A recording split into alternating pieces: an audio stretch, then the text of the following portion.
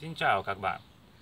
Hôm nay Sơn Ukraine là thích dạy người Việt Nam, chữ R R này. Một chữ này ở Việt Nam ít người đọc được. Tại sao mà là Sơn có quyền dạy chữ R cho người Việt Nam? Vì là người Nga đốc chữ này, là rất là chuẩn. Chuẩn nhất là thế giới. Chẳng hạn là raketa này tractor tiếng Việt là rượu, rõ ràng. Còn ròm thời xưa ở Việt Nam thì ít người Việt, ít người người Hà Nội đọc được chữ R này. Nhưng mà chữ này là đọc đơn giản thôi, nếu mà biết cách thở. Phải biết quy định. Không có cái gì mà là mình không biết chữ R không đọc được. Cả ông Lenin này ông Lenin cũng không đọc được chữ R, thì không sao cả. Nhưng mà nếu mà các bạn tập một chút là đọc được chữ R thì rất là si diện lúc khi các bạn đi vào quán là mua rượu uống nhé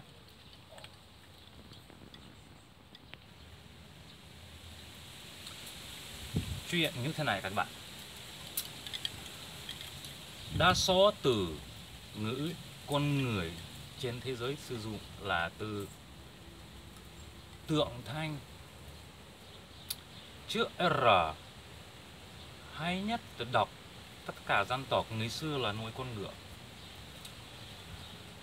Con người ngày xưa là hiểu tiếng loại vật để giao tiếp, vì là sống cùng nhau là nuôi loại vật thì là con ngựa, hay là nói tiếng giống là chữ R chẳng hạn con người thích dừng lại, tức là điều khiển dừng lại con ngựa, thì đọc như thế này là con ngựa đứng lại này. Thì là cách đọc chữ R cũng giống như là lúc hít thở ra thì phải thở rất là mạnh cho nó môi rung động. Các bạn có nghe là rung động, không phải là rung động hoặc là rung động là rung động thở rất là mạnh. Nhùn mà. Lúc thở kiểu đấy. Môi phải lên gần nhiều mỉm cười. Còn vòng miệng này. Mũi lưỡi, sờ vào miệng, đứng thở, đứng xuống lại. Mũi này, miệng này, răng, con người. Răng này là vùng miệng. Đại họng lưỡi, mình lưỡi này, mũi lưỡi phải sờ vào miệng. Lúc mình thở ra, một cách mạnh,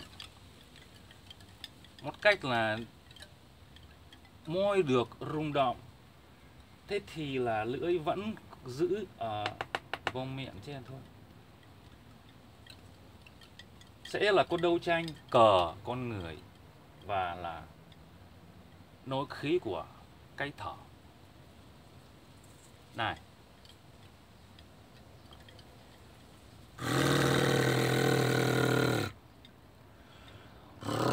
Rõ ràng rõ ràng rượu con ròng rung động này. Thế chỉ nhớ là bốn điều này một là lưỡi nó cứng hai là nó sờ vào miệng đứng xuống ba là nó thở rất là mạnh đến mức độ là môi được rung động bốn là, là môi thì phải mở ra thế thôi Запись.